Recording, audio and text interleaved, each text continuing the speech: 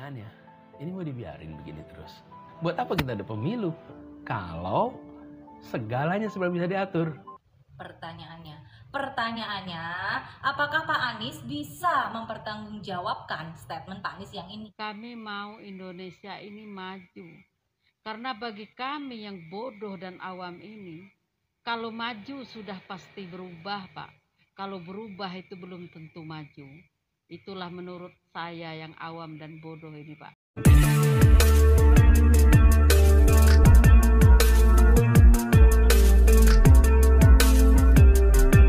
Ya, Assalamualaikum warahmatullahi wabarakatuh pemirsa. Selamat datang kembali di Ujang Halu Channel. Abah Anies Baswedan kembali mengejutkan banyak orang. Dikira sudah ikhlas dengan kekalahannya, ternyata Abah Anies masih mengungkit soal pemilu. Baru-baru ini beliau dengan berani berstatement di podcast Denny Sumargo, di mana pernyataannya kembali memancing perhatian publik. Seperti biasa, netizen pun terpancing dan turut menanggapi statement Abah Anies Baswedan. Nah, berikut videonya mari kita simak. Pertanyaannya, ini mau dibiarin begini terus? Buat apa kita ada pemilu? Kalau segalanya sebenarnya bisa diatur. Kepala desa tidak nyoblos A, maka dana desanya diaudit. Ya nggak ada kepala desa yang berani. Yang disebut sebagai pemilu itu mencerminkan kemauan rakyat. Kalau ini dibiarkan, maka pemilu mencerminkan kemauan penguasa. Ternyata saya adalah capres pertama dalam sejarah Mm-mm. Indonesia Mm-mm. yang datang dalam penetapan padahal nggak terpilih. Salah satu reaksi politik dari Pak Anies karena dia udah kalah nih, kayaknya dia pengen dikasih jabatan nih di bawah kepemimpinan Pak Prabowo seperti itu Pak pandangannya. Mohon maaf ya. Ya gini, itu yang digoreng itu imajinasi, fiksi, hayal. Banyak yang belum tahu Bapak mau ke mana nih habis ini masalahnya. Pertanyaannya, pertanyaannya, pertanyaannya, apakah Pak Anies bisa mempertanggungjawabkan statement Pak Anies yang ini? Apakah Pak Anies bisa membuktikan kebenarannya statement Pak Anies yang ini? Karena mohon maaf Pak, kalau Bapak tidak bisa membuktikan statement Bapak yang ini, jatuhnya itu jadi fitnah Pak ya, fitnah. Kalau memang banyak kepala desa yang diancam untuk memilih salah satu paslon jika tidak akan diaudit dana desanya, kenapa? Kenapa Bapak tidak membawa para kepala desa-kepala desa itu untuk dibawa menjadi saksi Bapak di sidang MK? Dan kalau memang semuanya bisa diatur, kenapa juga Bapak itu ikutan pemilu? Mending gak usah Pak, capek-capek kalau emang semuanya udah bisa diatur Pak. Hmm. kayak gini kok anak abah selalu bilang ke saya sudahlah jangan ngomongin Anies Baswedan. Pemilu sudah lewat kamu nggak move on ya padahal kamu kan menang. Lah itu abahmu itu yang tidak move on itu lihat tuh ya. Masih saja ngomongin soal pemilu. Katanya pemerintah ngatur-ngatur lah ngatur kepala desa harus milih si A kalau enggak nanti dana desanya akan diaudit lah jadi selama ini dana desa menurut Pak Anies tidak diaudit akan diaudit kalau pemilu saja? Atau bagaimana nih? Wah Pak Anies ini sudah menuduh ini. Menuduh seolah-olah pemerintah membagi-bagi dana desa khusus untuk kepala desa saja. Karena nggak akan diaudit. Kalau seirama dengan pemerintah. Fungsi audit apa dong? Buat negara, nggak penting ya? Pantesan Pak. Di Jakarta seperti itu pembangunannya amburadul karena apa nggak pernah ada audit untung aja bapak kalah ya Pak Abah muncul lagi nih muncul pemilu itu ya Pak ya memang kemauan rakyat bukan kemauan penguasa. Ya Pak ya. Kemenangan Pak Prabowo sama Gibran ya real. Kemauan rakyat bukan kemauan penguasa. Ya Pak ya. Hmm. 58% itu yang memilih Prabowo Gibran real. Rakyat semua yang milih bukannya kuntilanak Pak atau siluman. Gitu loh ya Pak ya aduh Bapak ini piye tuh emang Bapak yang perdana mencalonkan menjadi capres. Tapi gagal kan kalah. Karena rakyat tahu mana yang terbaik ya Pak ya. Untuk rakyat ya Pak ya. Kemenangan Prabowo Gibran bukan hasil settingan, Pak. Tapi karena rakyat sangat-sangat mendukung sepenuhnya memilih 02 ya, Pak ya. Terus pemilu kan sudah jauh selesai. Kenapa sih harus dibahas-bahas masalah pemilu lagi? Indonesia sudah tenang. Para pendukung Abah pun sudah pada istirahat dengan tenang ya. Jangan lagi dibuka membahas masalah pemilu. Eh nanti muncul lagi para pendukung anak Abah. Masih kok, masih. Dok. masih. Bang, Bang Densus ini ah bahas yang lain loh. Ya. Nanti jadi nggak enak jadi perang lagi tuh para pendukung anak abah yang riwet. Nggak kayak nggak tahu aja bang Densus ini. Kalau sudah keluar itu para pendukung anak abah wih riwet kayak capresnya si abah gitu loh ya. Udahlah kalau membahas masalah Pak Abah ini ya gak bisa habis sama dengan para pendukungnya. Gak kelar-kelar. Ya siaplah menahan rasa sakit selama lima tahun ya. Wassalam. Dari 02 Prabowo, Prabowo Gibran Eh, Anis. Izin skip ya bos eh, videonya. Ini Pak Anies kan bilang mau bawa ke mana pemilu ini. Bahwa kepala desa itu sudah diatur ya kan. Mana ada kepala desa yang berani. Nanti dana desa diaudit. Pertanyaan saya sama Bapak. Kalau Bapak tahu kepala kalau memang menurut bapak itu kepala desa itu bisa disetir. Bapak kan calon presiden juga. Uang bapak kan banyak ya kan? Kenapa bapak tidak itu setir aja itu semua kepala desa? Kalau memang menurut bapak itu kepala desa itu sudah disetir sama Pak Prabowo. Kita pakai akal akal yang cerdas dan sehat ya Pak ya. Itu Pak Prabowo Gibran itu kan cuman calon Pak nggak akan mungkin kepala desa itu disetir. Kepala desa itu pun tahu. Entah menang, entah tidak itu Prabowo Gibrannya. Pertanyaan saya saya sama Bapak, jadi yang menyetir kepala desa itu siapa?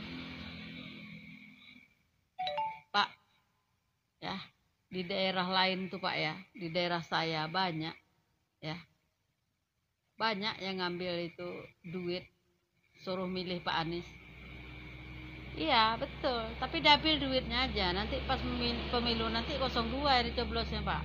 Itu bukan salah Pak Prabowo, bukan salah Pak Jokowi. Pilihan itu Pak menurut hati kecil kita, hati hati kecil, hati nurani kita. Karena hati kecil itu Pak tidak pernah berbohong Pak Anies, ya. Jadi yang milih itu masyarakat. Masyarakat itu tidak bisa disetir oleh pemerintah Pak. Karena cermin masyarakat ini beda sama cermin pemerintah.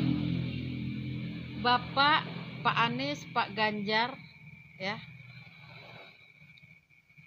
Pak Prabowo Gibran yang berpolitik, yang perang antara menjadi calon presiden, ya.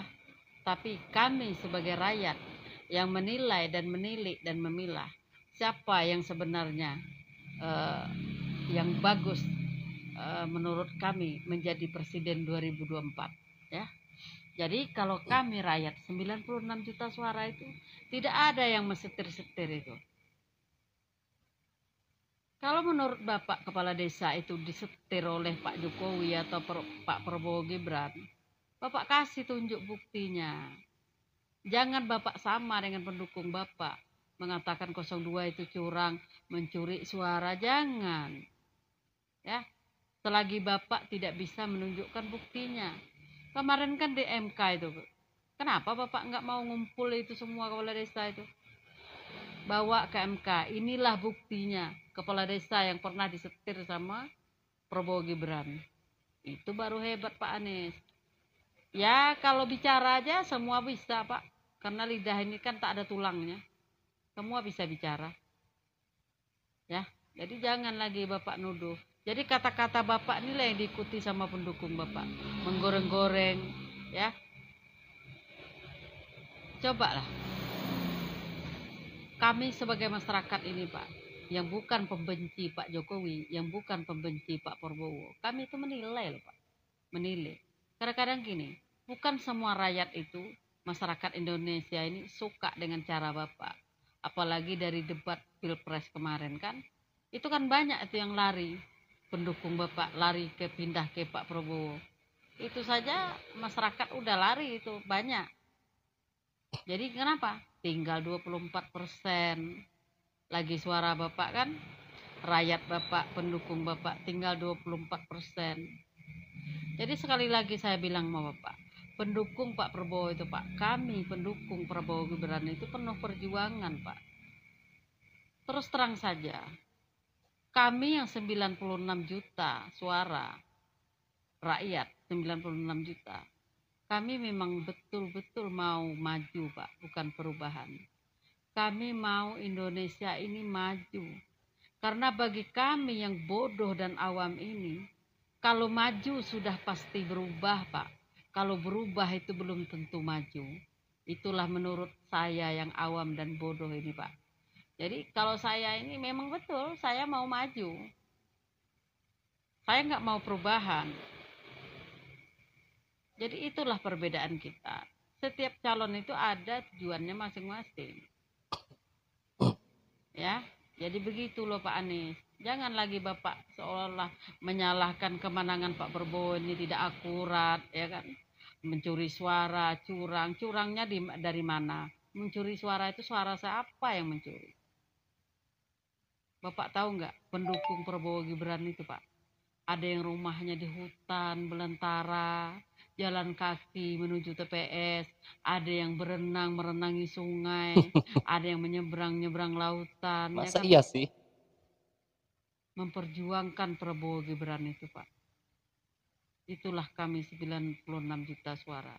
Jadi jangan seenaknya saja mulut Bapak bicara mengatakan kepala desa sudah disetir.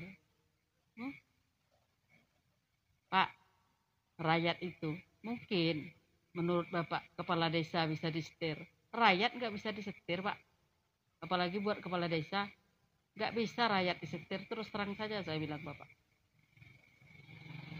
Tidak bisa rakyat Indonesia ini disetir. Kalau sudah tujuan hati, pilihan hati kecil itu tidak bisa dipindah-pindah ke mana-mana. Asal Bapak tahu. Tak mungkin Bapak tak tahu. Bapak kan punya hati kecil juga. Hati kecil ini tidak bisa bohong, Pak. Kalau mulut bisa bohong, hati kecil tidak pernah bohong itu. Apa yang kita mau, apa yang kita suka, apa yang kita paham. Begitu loh Pak Anies. Jadi jangan lagi Bapak terus Bapak bicara curang, kepala desa disetir.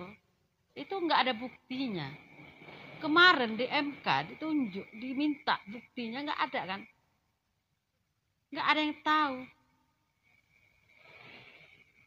Jadi selama ini makanya kami bilang 02 ini bilang 01 ini hobi fitnah. Ngada-ngada ngadi-ngadi. Yang nggak ada diada-adakan. Tidak terima dengan kekalahan Coba Bapak, jangan kalau sudah kalah, tidak menang Bapak, ya sudah, anteng, diam. Ya kan? Nanti lima tahun ke depan, Bapak silakan mencalon diri lagi. Siapa tahu nanti kami bisa bantu suara Bapak.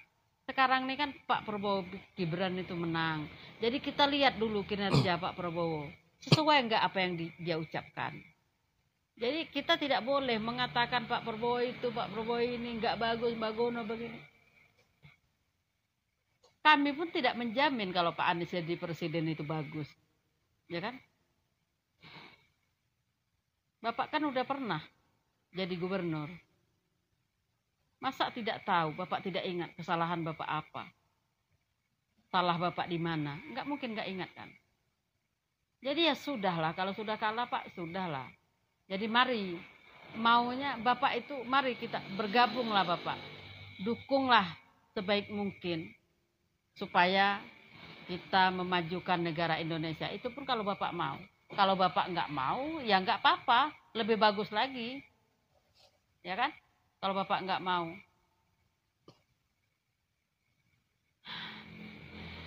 Kalau Bapak mau minta jabatan sama Pak Prabowo, saya yakin Pak Prabowo itu dia hatinya mulia, Pak. Kayak mana pun Pak Anies berkhianat kepada beliau. Masih terselip di hati Pak Prabowo, Pak Prabowo itu yang terbaik buat Bapak. Saya yakin itu, apalagi Pak Jokowi. Bapak kan dulu berteman baik dengan Pak Jokowi. Gara-gara politik kalian renggang. Itu. Coba lihat Pak Prabowo di saat dia kalah dikalahkan sama Pak Jokowi. Dia tetap jadi sahabat yang baik sampai sekarang ini. Itulah yang kami suka dari Prabowo Pak. Itu yang kami suka. Memang ada kemarin dia memberontak, tapi tidak separah anggota Bapak memberontak. Demo berhari-hari berjilid-jilid, toh yang diperjuangkan tidak akan tercapai, tidak akan menang. Kami kan betul dulu kami eh, ada juga kemarin tuh memberontak, tapi tidak separah klien, luar biasa memberontaknya. Perasaan kecewa karena kalah saat pemilu itu sesuatu yang wajar dan alami ya.